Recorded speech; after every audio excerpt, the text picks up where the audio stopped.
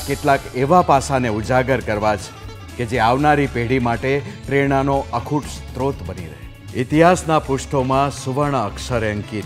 કેટલાક એવા નામોનો ઉલ્લેખ કરવો છે કે જેના ઉચ્ચારણ માત્રથી જ એક અનોખી આભા ઊભી થાય. આવું જ મહાન વ્યક્તિત્વ એટલે ડૉક્ટર સર્વપલ્લી રાધાકૃષ્ણન હું પહેલા શિક્ષક છું અને પછી રાષ્ટ્ર પ્રમુખ છું. આવી ઉદાત્ત વિચારસરણી ધરાવનાર આપણા ભૂતપૂર્વ રાષ્ટ્રપતિ એક મહાન ફિલોસોફર અને શિક્ષક ડૉક્ટર સર્વપલ્લી રાધાકૃષ્ણન.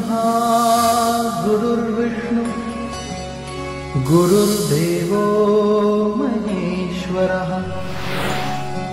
ગુરુ સાક્ષાત પરબ્રહ્મ। તસ્મૈ શ્રી ગુરવે જેમનો જન્મદિવસ ભારતના ઇતિહાસમાં અમર થઈ ગયો. અને હંમેશા શિક્ષક દિન તરીકે ઉજવાય છે એવા ડૉક્ટર સર્વપલ્લી રાધાકૃષ્ણ. શ્રી રાધાકૃષ્ણનનો જન્મ પાંચ સપ્ટેમ્બર અઢારસો ઇઠ્યાસીના રોજ મદ્રાસની વાયવ્યે આવેલા તિરુતણી નામના નાનકડા યાત્રાધામમાં એક સામાન્ય આર્થિક સ્થિતિ ધરાવતા બ્રાહ્મણ કુટુંબમાં થયો હતો.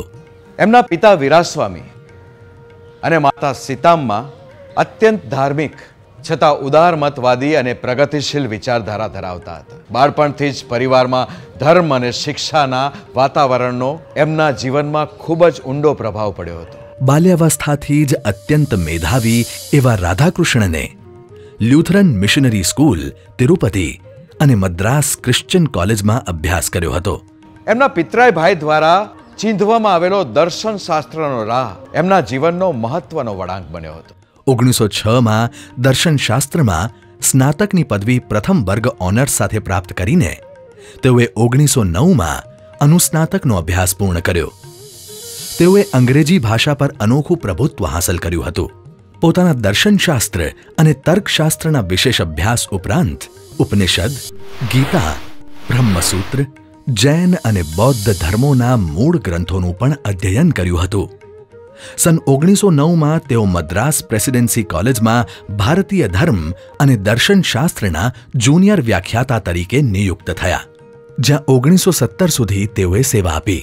તેઓ દેશ વિદેશની પત્રિકાઓમાં વિચારાત્મક લેખો લખતા, જે વાચકોમાં અત્યંત લોકપ્રિય થયા.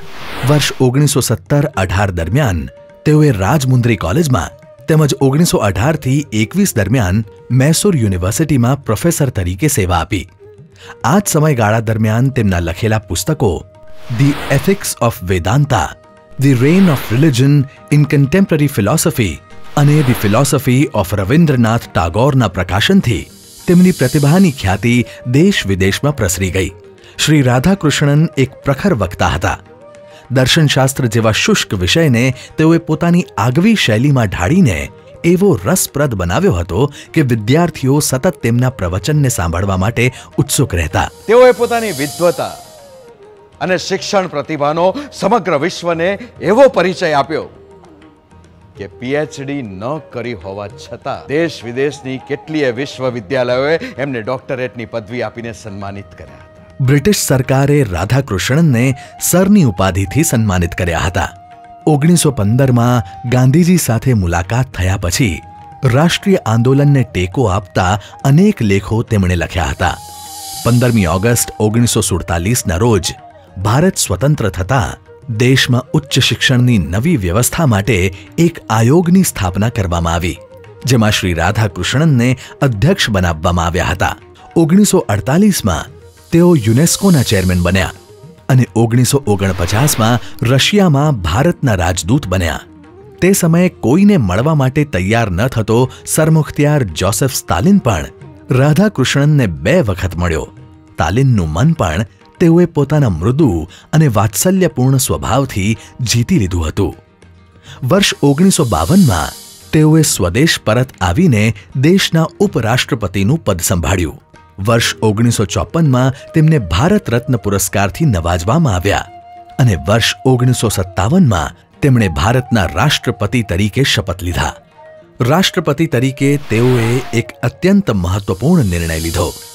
તેમણે પોતાનું વેતન રૂપિયા દસ હજારથી રૂપિયા બે હજાર કરી નાખ્યું અને સપ્તાહમાં બે દિવસ કોઈ પણ વ્યક્તિ તેઓને પૂર્વ મંજૂરી વિના મળી શકે તેવી ગોઠવણ કરીને પોતાના ઔદર્ય અને નિરાભિમાનીપણાના દર્શન કરાવ્યા. ઓગણીસો સડસઠના પ્રજાસત્તાક દિને રાષ્ટ્રને સંબોધન કરતા તેમણે રાષ્ટ્રપતિ પદેથી નિવૃત્તિ જાહેર કરી. અંતિમ સમયમાં તેઓએ પોતાની કર્મભૂમિ ચેન્નઈમાં નિવાસ કર્યો અને તારીખ સત્તર એપ્રિલ ઓગણીસો પંચોતેરના રોજ તેઓએ આ વિશ્વમાંથી ચિર વિદાય લીધી. એમના અવસાનથી સમગ્ર રાજનૈતિક અને શિક્ષણ જગત જાણે ઘેરા શોકમાં ડૂબી ગયું.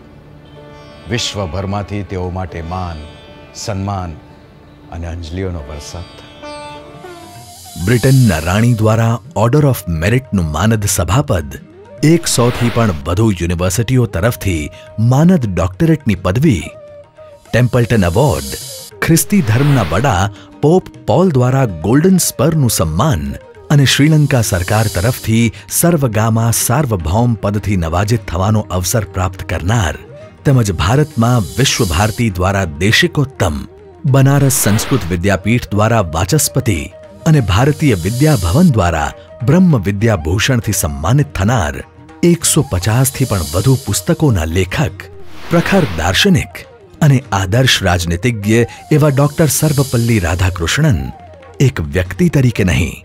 એક વિચારધારા તરીકે સદાય ભારતીયોના માનસમાં જીવંત રહેશે. ધન્ય છે આવી વિરલ વિભૂતિઓ. ધન્ય છે આ ધરા કે જે મહાનતાના આવા મૂર્તિમંત સ્વરૂપોની માતૃભૂમિ રહી છે. ધન્ય છે એ સમયે કે જે સાક્ષી બન્યો આ દેશભક્તોના જીવનકાળનો. અને ધન્ય છે એ લોક કે જેઓને વારસો મળ્યો છે આવા મહાન વ્યક્તિત્વોની વિચારધારાનો. જય હિન્દ